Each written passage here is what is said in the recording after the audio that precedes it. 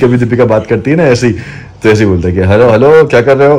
कर रहे हो या मतलब दोनों के भाई बुरा मत मानना कोई भी हो सकता है ठीक है? हाँ मतलब मुझे लगता है अगर कहीं मैंने लड़की करके एड्रेस कर दिया और लड़का हुआ तो वो बुरा मान जाएगा अगर लड़का करके कर दिया लड़की हो तो वो नहीं। यानी कोई भी हो चलेगा बस हेल्दी हो। Healthy हो। हाँ तो ये है और बस मैं यही सबको बोलूँगा कि बस यार हम साथ कर सकते हैं।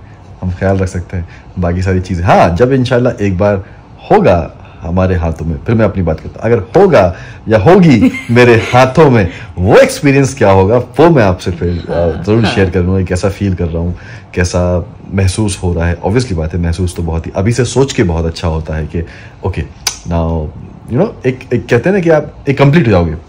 ना एक हाँ। एक हस्बैंड वाइफ एक बच्चा एक कंप्लीशन एक कंप्लीट हो जाओगे। बट उसका एक्सपीरियंस मैं आपको तभी बताऊँगा, तब बता पाऊँगा मैं।